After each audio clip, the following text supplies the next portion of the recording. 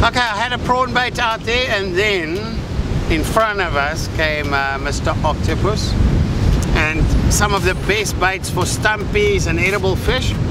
Um, you just cut a few tentacles off, you know, obviously maximum four, give the guy a fighting chance because um, they grow back. Instead of killing the whole octopus, you cut, I cut four legs off, it's two and two in my bucket and uh, fresh, fresh, fresh. I'm going to quickly show you how I'm going to use this. It's a small octopus, not very big, as you can see. But you cut the legs off, not all the way to the top. Obviously a big one would be nice. And then you have to cut the suckers off. You can see it's still alive, eh? it's not easy to clean. You can use sand after you've cut this off. You can use the sand to, to get the skin off.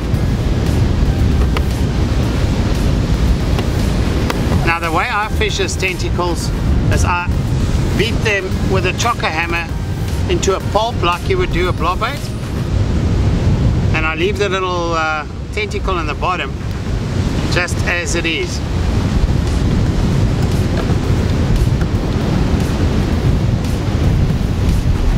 Okay. Now the skin you can now basically get together and remove that as well. It's not easy to clean, but boy is it worth it.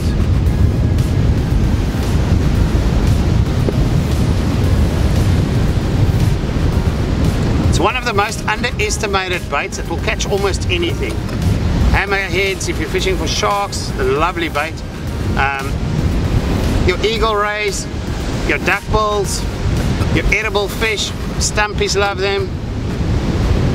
I don't think there's fish that will leave it alone, a fresh octopus leg. And obviously they're famous for the bigger cob and even your smaller cob.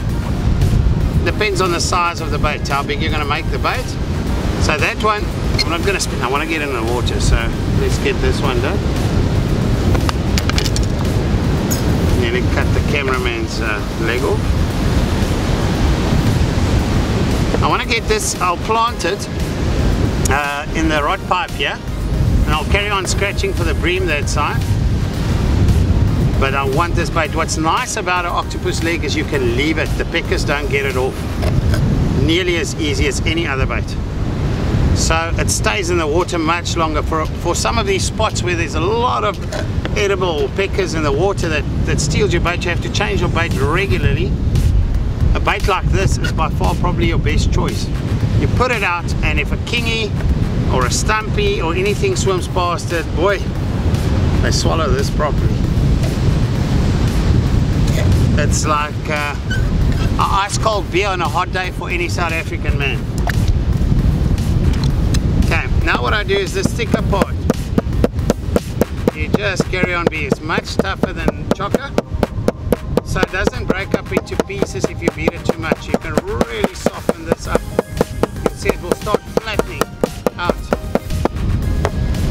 I first want to see how this, I'm using a 4 ringed soy Mustad, my favorite edible hook. In fact, we're using them for sharks as well these days. Because they go up to 11 And that you'll put on like a blob bait, zigzag it on. And if one's not enough I'll add the second one which I think I'm going to do in any case. And you do that all the way to the section where you didn't beat it that will keep it on nice and tight. But before I'm going to add that actually I want to put more. Put it over the shank onto the line. Now look at that little bait already. And then we'll add the second one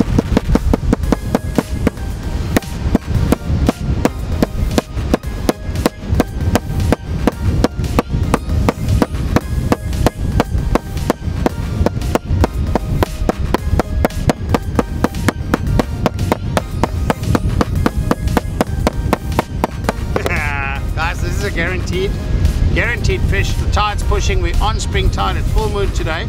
Obviously the fishing will be better tomorrow and the day after normally that's the rule. But uh, there's a bit of a ground swell so it's rough but there's nice working water in the back as I mentioned earlier.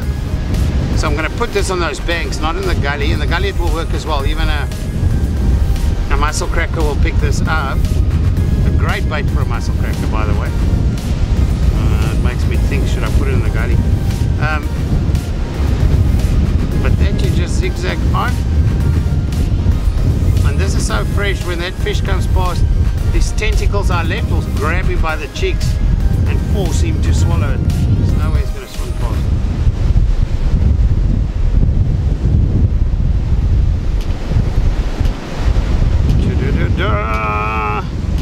La la.